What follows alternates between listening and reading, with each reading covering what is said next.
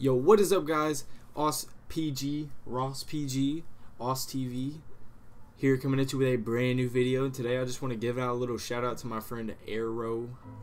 Yep, he's uh he's starting to do identity videos, and one of his last videos is actually really good, and he's switching over to Sony Vegas Pro, so his video quality is gonna get a lot better. So just to get right into the video, I'm gonna tell you guys about the currency and you know pay to play stuff and the economy of identity and this is going to be another one of those videos that I talk about stuff you know while you know this is a pre-recorded video obviously.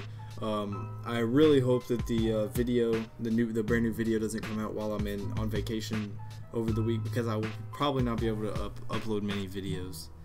So just to get into this topic all of the economy in identity is player based so that means that only the players will be able to change the economy it's not going to be a set economy like uh, GTA where you, where you know a gun is like let's say a thousand dollars for the whole game. The prices of uh, you know they're gonna they're gonna go by demand, right?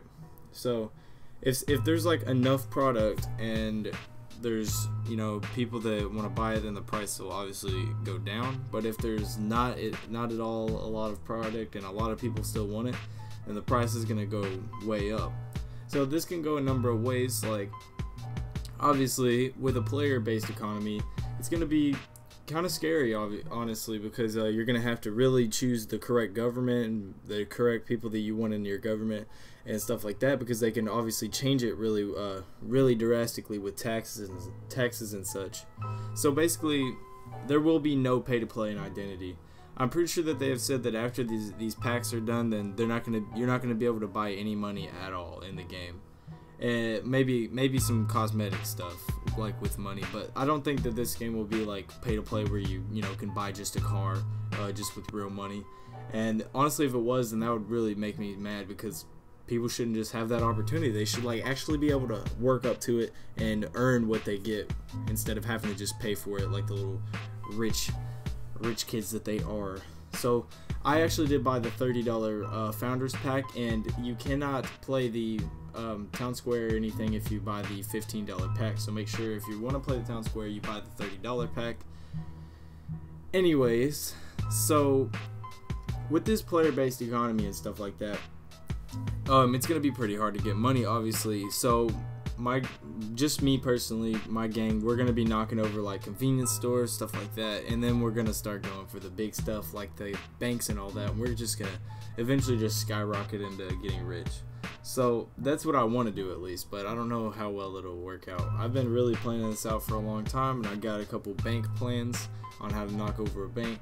Maybe I'll put that in one of my next videos who knows this is probably going to be Wednesday's video since I'll probably only be able to post around three or four videos this week. Maybe this will be my only video because I'm running out of time. And um, yeah, so if you guys want to hear more about the economy and stuff like that, there are you know sites that you can go onto that that'll update frequently about you know stuff that the devs have said.